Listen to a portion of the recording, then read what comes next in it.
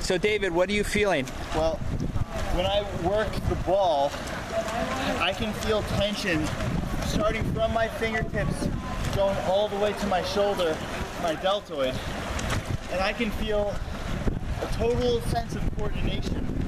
And when I compare this to my bodybuilding days, working with weights, sometimes you feel literally the exact opposite a lack of neuromuscular connection between the motion that you're doing.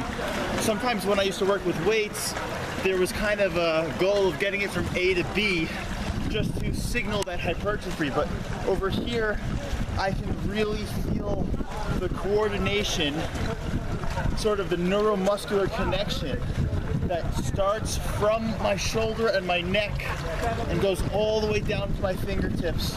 And it's just a really engaging activity. Steve, this is incredible. And what is your base pressure and your optimal pressure? Oh, it is really low. I'm at a base pressure of between 15 and 20 and an optimal of 150. On land, I work out between 30 and 35 and at about 300, 310. Yeah, good, good.